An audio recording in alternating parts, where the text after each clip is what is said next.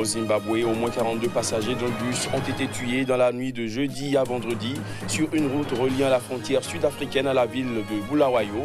Une bonbonne à gaz serait la cause probable du brasier.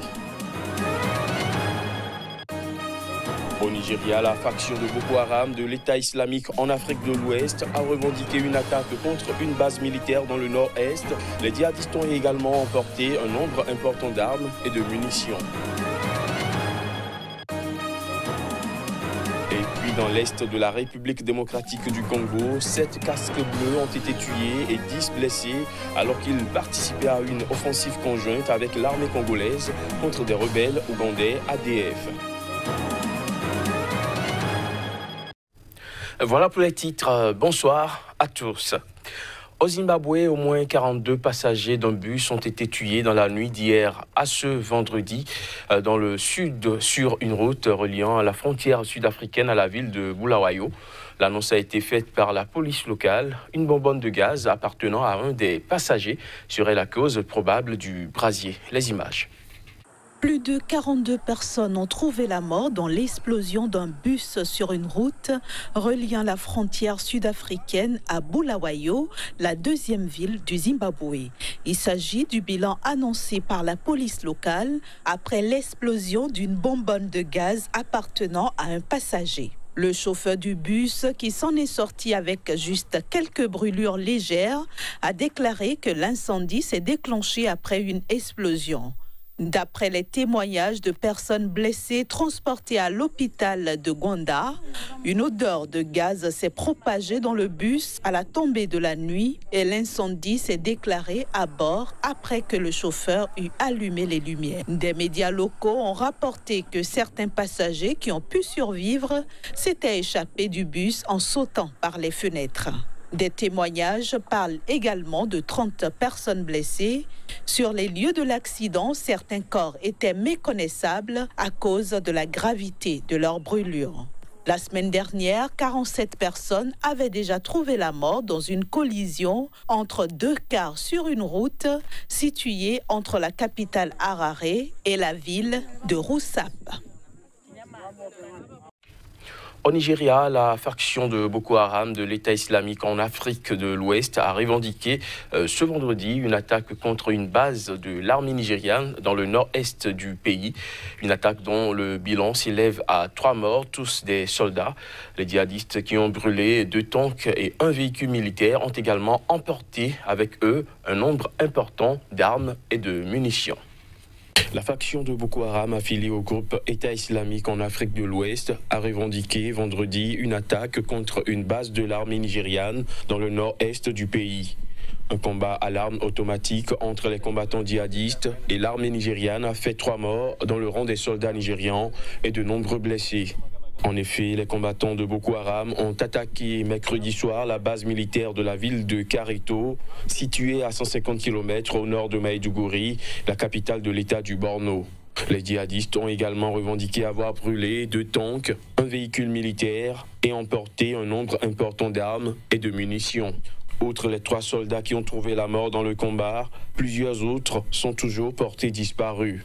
Dans le même temps, des djihadistes de Boko Haram ont attaqué mercredi soir le village de Mamati, situé à 5 km de Maïdougouri, tuant une personne et incendiant tout le village avant de voler des centaines de têtes de bétail. Les attaques s'intensifient depuis plusieurs semaines, notamment contre des bases militaires, et au moins une centaine de soldats ont été tués depuis le mois de juillet dernier.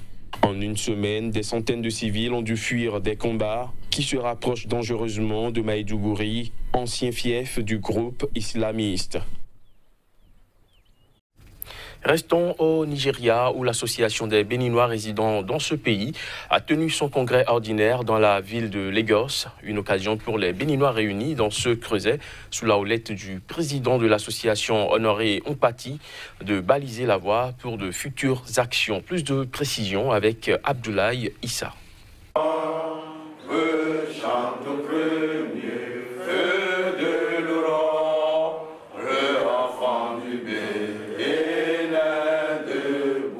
congrès ordinaire de l'Union des Béninois résidant au Nigeria a servi de cadre pour la diaspora béninoise de se retrouver à Lagos pour échanger tout en tenant compte des ratés observés ça et là au cours du mandat du président Honoré Humpati. La rencontre de Lagos, synonyme de retrouvailles entre concitoyens béninois, a connu la présence du consul du Bénin à Lagos. Vous la bienvenue, vous féliciter pour cette réunion que vous organisez et qui vous permet de vous retrouver de faire le bilan de tout ce que vous avez fait depuis l'élection du président Oubati, de faire le, point de chemin parcouru et de baliser le terrain pour les actions à venir. Comme vous savez, la République du Bénin attend beaucoup de vous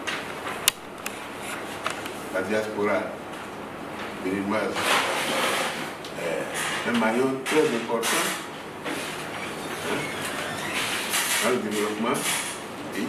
Face à ses pairs, le président de l'Union des Béninois résidant au Nigeria a promis remettre les pendules à l'heure et faire de cette communauté une référence. Une communauté qui aura son mot à dire dans le développement du Bénin. Cette assise est très importante pour nous. Pour revoir la situation communautaire que nous sommes assez pour mettre de sérieux dans cette organisation. Je vous remercie d'avoir répondu présent à cette Assemblée générale.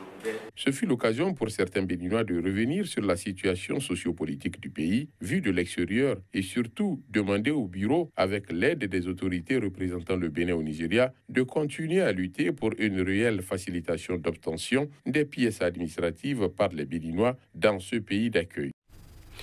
Dans l'est de la République démocratique du Congo, sept casques bleus ont été tués et dix autres blessés. L'incident s'est produit alors qu'ils participaient à une offensive conjointe avec l'armée congolaise contre des rebelles ougandais ADF qui sèment la terreur au sein de la population congolaise. Les détails. De violents combats se poursuivaient ce vendredi dans la région de Béni, dans l'est de la République démocratique du Congo, où des casques bleus ont perdu la vie dans le cadre d'une opération avec l'armée congolaise menée depuis le début de la semaine contre une rébellion. Selon le capitaine Mac Azukai, porte-parole de l'armée dans la région de Béni, province du Nord Kivu, une interdiction formelle de fréquenter Mayangose et la rive gauche du Nialeke est adressée aux civils.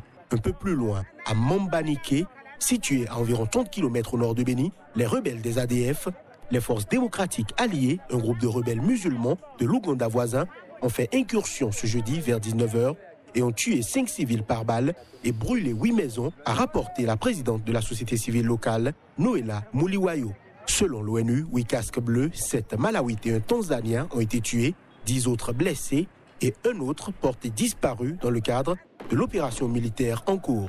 Ces soldats ont été tués mercredi lors de combats contre des ADF qui sévissent dans la région de Béni et des environs. Au moins 12 membres des forces armées de la République démocratique du Congo ont également été tués, selon l'ONU. Les ADF sont des rebelles musulmans opposés au président ougandais Yoweri Museveni et qui sont présents sur le territoire congolais depuis 1995. Réunis à Bruxelles hier jeudi, cinq leaders de l'opposition congolaise ont appelé Félix Tshisekedi et Vital Kamerhe à revenir à la raison, ceci en soutenant Martin Fayolo, désigné comme candidat unique de l'opposition à l'élection présidentielle du 23 décembre euh, prochain. Martin Fayoulou a été démocratiquement choisi comme candidat commun. C'est ce qu'ont expliqué dans une déclaration commune à Bruxelles les opposants Jean-Pierre Bemba et Moïse Katumbi, qui n'ont pas pu se présenter à l'élection, mais aussi Adolphe Mouzito, Freddy Matungulu et Martin Fayoulou lui-même. Dans leur déclaration, ils appellent Félix Tshisekedi de l'UDPS et Vital Kamere de l'UNC à revenir à la raison et à se conformer à la volonté du peuple congolais qui n'a jamais cessé d'appeler à l'unité de l'opposition.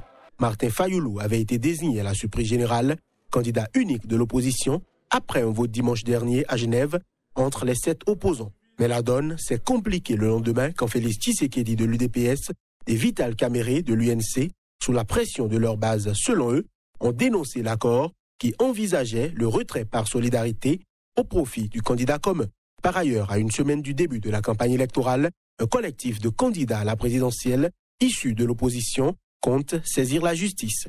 Ils dénoncent l'usage des ressources publiques qui, d'après eux, serait affecté à la campagne d'Emmanuel Ramazani Chadari, le candidat du pouvoir en place qui a entamé une tournée en province après un meeting tenu à Kinshasa. Des accusations que rejette la coalition au pouvoir. Pour ce scrutin présidentiel prévu le 23 décembre prochain, 21 candidats sont en lice. Plus de 400 000 Congolais ont été expulsés ou ont fui l'Angola depuis le mois d'octobre dernier. C'était à la suite d'une opération des forces de sécurité visant officiellement à combattre le trafic illégal de diamants. La situation est décriée par l'ONG Human Rights Watch qui soupçonne les autorités de mauvais traitement. Des précisions à travers cet élément. L'ONG Human Rights Watch tape du poing sur la table et déclare dans un communiqué que le gouvernement angolais devrait immédiatement suspendre l'expulsion de réfugiés de la République démocratique du Congo. Les autorités angolaises sont plutôt invitées à enquêter de façon impartiale sur les mauvais traitements dont sont soupçonnées les forces de sécurité. En effet, selon Human Rights Watch, les forces de sécurité et des jeunes de l'ethnie Chokwe qui se sont alliés à elles ont tué au moins six Congolais durant l'opération dans la province de Luanda Norte, frontalière de la RDC. Mais le nombre de morts est très probablement plus élevé selon l'Organisation de défense des droits de l'homme. De nombreux migrants et réfugiés qui ont franchi la frontière avec la RDC ont accusé les forces de sécurité angolaises de les avoir agressés sexuellement, d'avoir pillé et brûlé des maisons. Pour l'ONG, l'Angola devrait cesser de forcer des gens à quitter le pays tant qu'il ne peut pas fournir d'éléments permettant de distinguer migrants irréguliers, réguliers et réfugiés. L'organisation met enfin en garde contre le risque d'une déstabilisation encore plus grande de la RDC voisine avec l'arrivée massive de réfugiés à quelques semaines des élections générales du 23 décembre. La levée des sanctions de l'ONU contre l'Érythrée marque un nouveau signe de détente dans la corne de l'Afrique. Cependant, les experts préviennent qu'elle ne devrait forcément pas déboucher sur des réformes significatives de la part du régime en place. L'Érythrée a de bonnes raisons de s'estimer soulagée. Mercredi, le Conseil de sécurité de l'ONU a, à l'unanimité, levé ses sanctions qui pesaient sur le pays depuis 2009. Cette résolution des Nations Unies intervient après un rapprochement spectaculaire et inattendu entre l'Érythrée et l'Éthiopie sous l'impulsion du Premier ministre éthiopien Abiy Ahmed. Pour les experts, ce dénouement ne devrait forcément pas déboucher sur des réformes significatives. Le pays étant dépourvu de constitution ou de parlement, le changement ne peut venir que du président Isaias Efewerki, ancien chef rebelle, héros de l'indépendance et grand admirateur de Mao. Et si ce dernier a accepté la main tendue du nouveau Premier ministre éthiopien, signé avec lui un accord de paix en juillet et autorisé la réouverture des ambassades et de la frontière commune, il n'a pas en l'état amorcé de réformes à destination de sa propre population. Le régime, devenu ultra-autoritaire, a fait taire toute voix dissidente, emprisonnant opposants et journalistes, tout en imposant à la population une conscription obligatoire et illimitée. Les dissidents croupissent toujours en prison, les jeunes érythréens sont toujours soumis au service national forcé et selon les Nations Unies, plus de 14 000 Érythréens ont fui le pays depuis septembre. Fin de ce JT, merci de l'avoir suivi.